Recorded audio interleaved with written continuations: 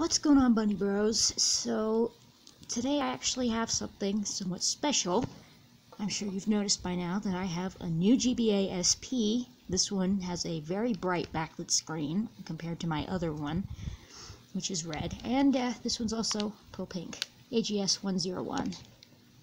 Best Game Boy there is. And then I also have this. Now, this is actually a fake copy of Pokemon Emerald, if you couldn't tell by the ESRB thing.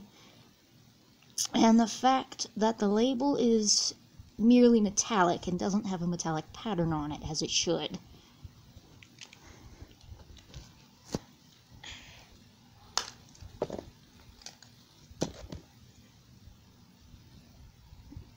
There's the chip.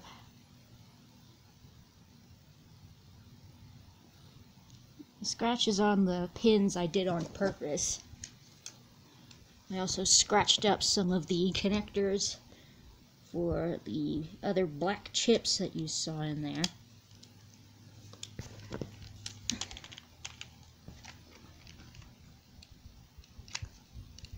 But here's what happens when I pop it in. Mind you, like I said, I screwed it up on purpose. Goes to a blank screen.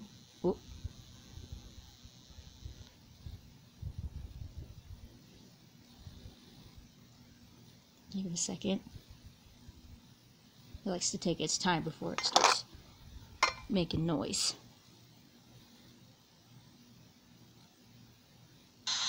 There it goes.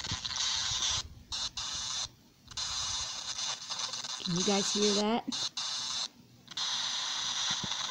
That's the game of noise.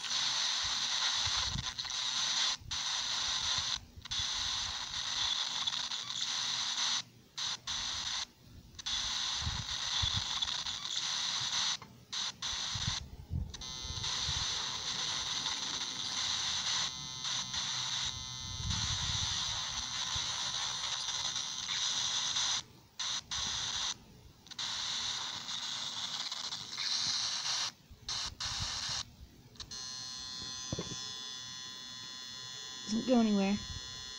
Just sits on the white screen and makes a whole bunch of garbled noise.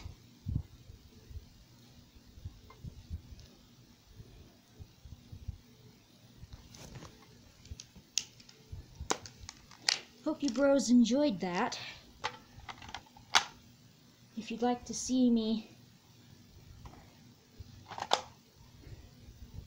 uh, start up some of my other games and whatnot, show off my Pokemon and my high scores and whatnot, let me know.